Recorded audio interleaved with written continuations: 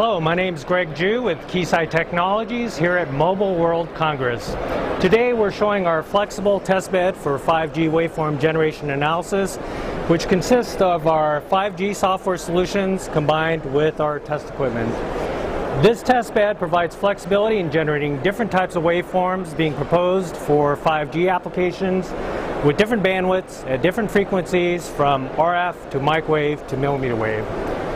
So to demonstrate the flexibility of this testbed today, I've got our SystemVue design software with the 5G baseband exploration library installed on the embedded controller.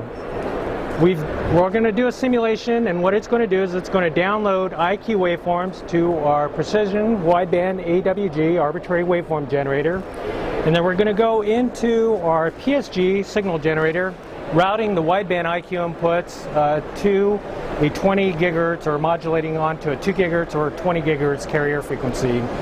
This is going to go into our scope and this is a high performance scope that does measurements up to 62 gigahertz and so this combination provides flexibility in generating signals up to 44 gigahertz, analyzing up to 62 gigahertz, and if we want to do millimeter wave frequencies, we could run it into a millimeter wave up converter to up convert to millimeter wave. So let me get to the actual demo.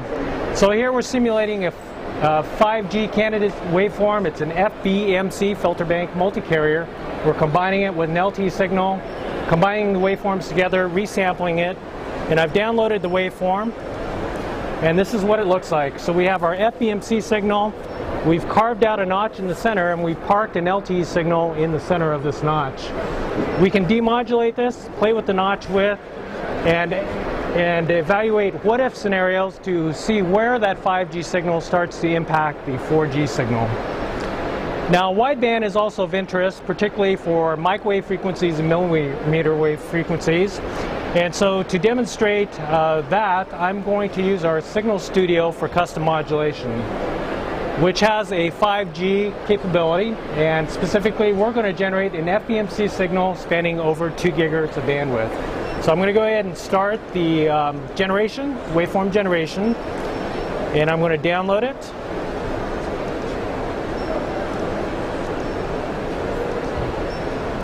And I'm going to bump up the carrier frequency up to 20 gigahertz. And now let's take a look at our signal.